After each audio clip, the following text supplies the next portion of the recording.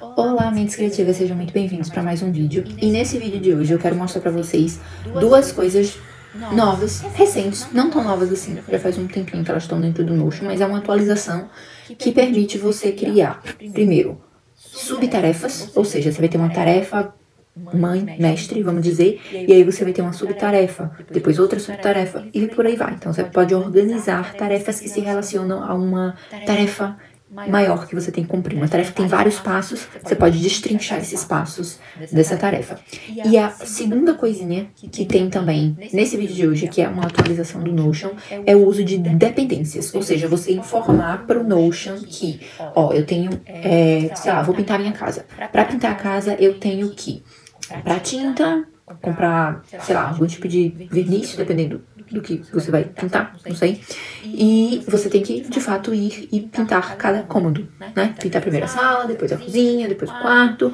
E aí vamos dizer que para pintar tudo isso, primeiro você tem que comprar tinta. Se não tiver tinta, você não pinta nada, né? Então, essas outras tarefas estão dependentes da primeira tarefa, que é comprar tinta. Então, você pode dizer pro Notion, ó, essas outras tarefas, elas são uma dependência dessa outra aqui. Elas são liberadas quando, né? Você tem que fazer ela depois que você fizer essas outras daqui. Tá? Então vamos lá, como é que a gente faz isso? Eu tô aqui no meu Notion Lab pra gente criar, uh, mexer nessas dependências. Eu vou criar uma base de dados nova aqui para mostrar isso para vocês, tá? Então vamos lá, a gente cria uma tabela e eu vou criar essa base de dados novas porque eu ainda não implementei isso no meu sistema, porque eu também não sei exatamente. se isso encaixa direito no sistema que eu tenho atualmente, se para mim é interessante, e eu vou explicar porquê ao longo do vídeo, tá? Então vamos lá. Aqui eu tenho uma base de tarefas. A gente vai ter o nome da nossa tarefa, a gente pode colocar aqui no lugar de tags a data da nossa tarefa, né? Geralmente é uma coisa que a gente tem, é a nossa data da tarefa. Vamos usar aquele exemplo que eu falei. A gente vai pintar a casa. Então a gente vai ter outras tarefas associadas a essa pintar casa. Pintar casa é o final, mas eu tenho que fazer um monte de coisinhas dentro dessa tarefa de pintar a casa. Você vai vir aqui, ó, nesses três pontinhos do Notion e você vai ter esse, esse essa linha aqui subitens. Se você ainda não mexeu nessa linha subitens, é capaz até dele ter um, um, um marcadorzinho de uma cor diferente, acho que é azul que fica, ou vermelho, não sei, que ele vai mostrar um novo. Então pode ser que você veja isso aí. Mas esse aqui, subitens. E isso daqui você tem que vir aqui e ativar para toda vez que você tiver uma base de dados em que você quiser fazer isso, quiser usar subtarefas, tá?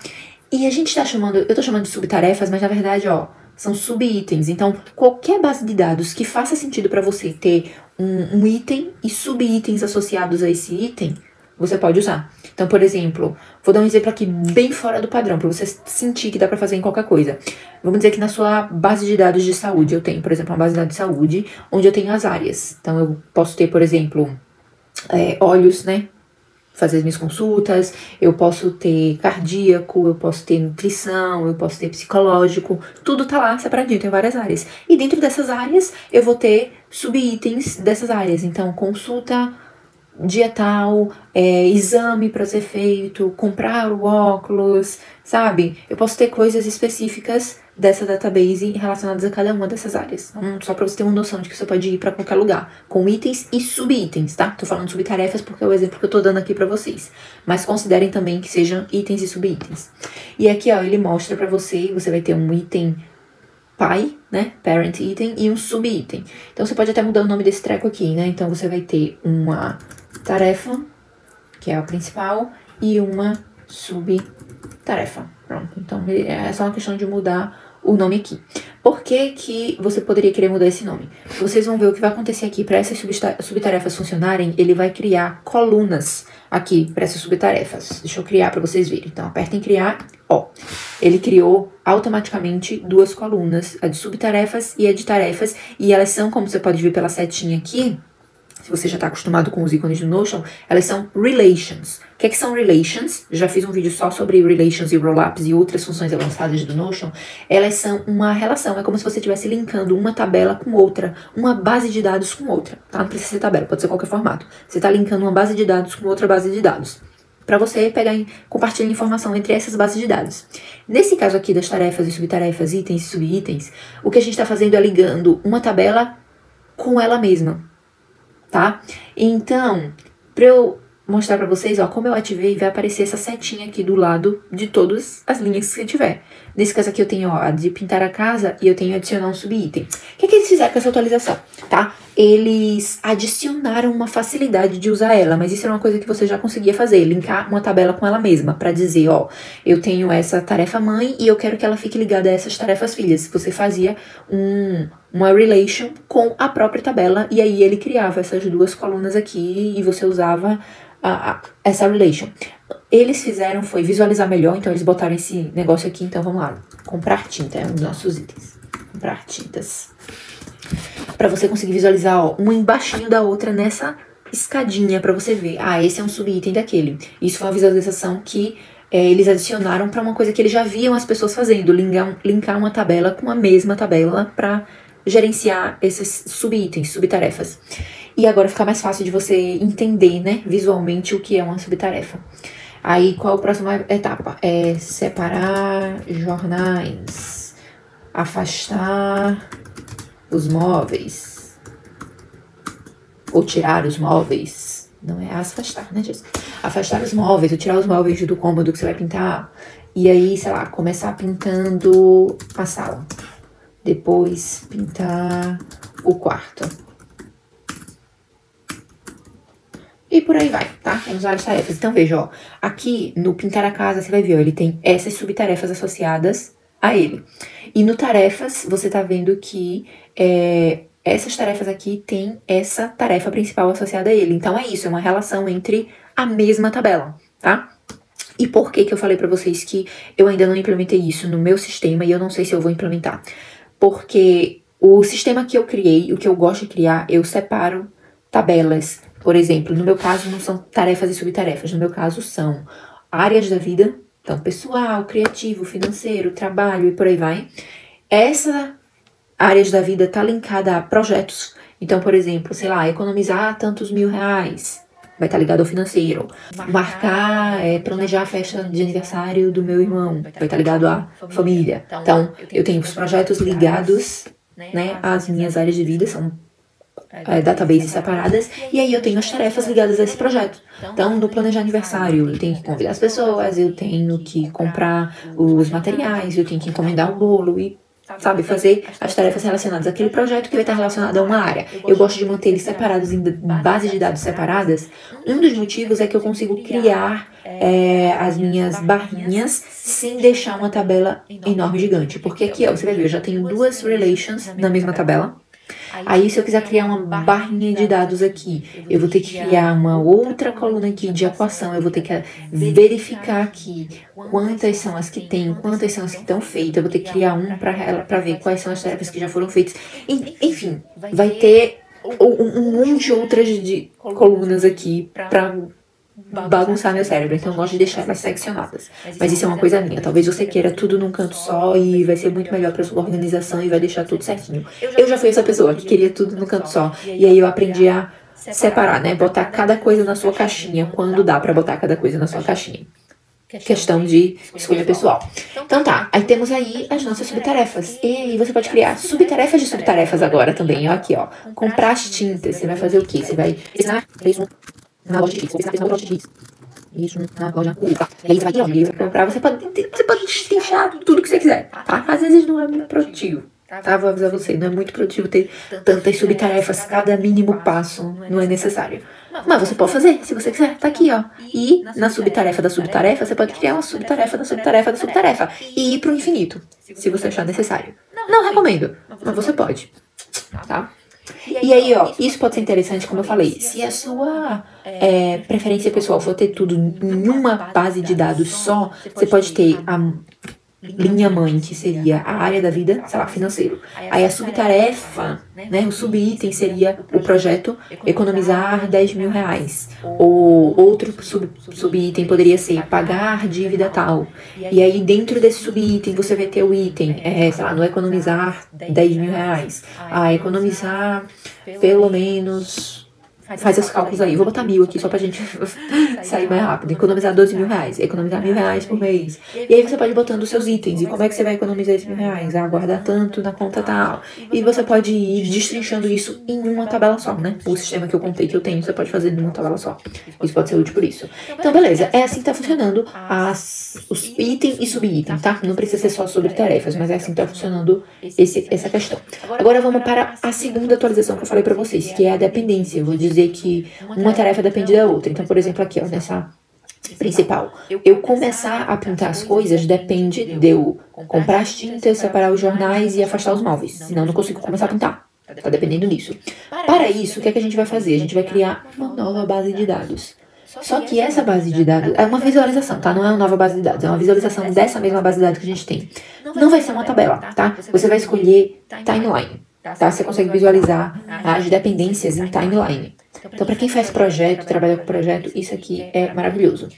Quando você criou isso aqui, você não vai ver nada. Por quê? Porque a gente não botou datas. E a, a timeline, ó, ela funciona com datas. Você tá vendo aqui os meses e os dias dos meses. Então, a gente tem que botar umas datinhas aqui. Então, ó, pintar a casa dia 31, aí pra gente, você vai os móveis, na e O pintar a casa, na verdade, como a gente vai começou hoje planejando, eu vou botar aqui disso e vou botar o final pro dia 31. Vocês vão ver por quê. Vai lá na timeline, né? E aí, ó, vê aqui, ó, a atividade mãe, ela tá estendendo até o dia 31. Começou aqui, ó, no dia 6, por isso que você tem essa caixinha indo até o dia 31. É assim que funciona a visão de timeline. E a setinha para a gente ver as subtarefas que estão associadas a essa tarefa. Isso é uma coisa legal de ter as subtarefas. Então, aqui, ó, comprar as tintas. E se você vier, apareceriam os itens se a gente tivesse botado data nos outros itens. Eu não botei, né? Então, a gente não vai se preocupar com esse agora, não. E aí você tem, ó, os outros aqui com as datas certinhas que a gente colocou, tá? Aí, como é que funciona a dependência? A gente falou, né? Para eu começar a pintar a sala, eu tenho que fazer todas essas coisas aqui. Se eu passar o mouse aqui, você vai ver, ó, bem de leve, tem uma bolinha. Arrasta essa bolinha até você chegar aqui, ó. Vou botar aqui. Então, eu só vou afastar meus móveis quando eu comprar as tintas. Porque eu não vou deixar meus móveis afastados se eu não tenho nem a tinta pra pintar. Beleza. Ele vai aparecer isso aqui. Por que, que ele apareceu isso aqui? Porque a gente precisa criar outra relation. Tá, tá entendendo que o negócio tá indo pro infinito, você vai ter uma tabela cheia de relations. Eu não gosto disso, tá? Esse é um dos motivos que eu não implementei isso no meu, uh, no meu sistema. Então, ó, eu vou ter aqui criar uma nova relation. Por quê? Porque ele vai relacionar cada uma dessas dependências a uma tarefa. Eu vou dizer o seguinte, ó, eu só posso afastar os móveis depois que eu comprar as tintas. Então, eu vou ter relacionado lá qual é a relação, né? Qual é a dependência dessa tarefa? É eu comprar as tintas. Qual é a dependência de eu pintar o quarto? É eu já ter pintado a sala, porque eu estou seguindo uma ordem que faz sentido na minha casa, na minha cabeça. Então você vai criar, vai ter que criar essa relation. E na hora que você puxar a primeira setinha, ele vai mostrar esse menu para você. E aí você coloca aqui, ó. Você vai ter o blocking e o blocked by. O blocking significa o seguinte, ó. Essa tarefa tá bloqueando essas outras aqui. Ou seja, eu tenho que terminar essa antes de ir para essas outras aqui. E o blocked by é o contrário. Essas tarefas estão sendo bloqueadas por essa aqui. Ou seja, eu tenho que terminar essa daqui antes de eu começar essas outras, tá? Então, eu vou deixar assim mesmo, você pode mudar o nome para português se você quiser, tá? E aí, ó, já apareceu aqui o dependências. Ó, é vermelhinho o botão. O botão de novo aparece aqui como vermelhinho. E aí, ó, a setinha ficou amarela, significa que o gorila estava criado. Por isso que a gente estava tendo dificuldade de achar a bolinha. Eu tinha esquecido esse pequeno detalhe. E aí, ó, as tintas, elas também é, barram eu separar os jornais, eu não vou separar jornais se eu não comprei minhas tintas ainda. Pelo menos na minha cabeça, a minha, minha lógica é essa. Tá? Não vamos discutir a lógica aqui, a gente só quer aprender a usar o sistema.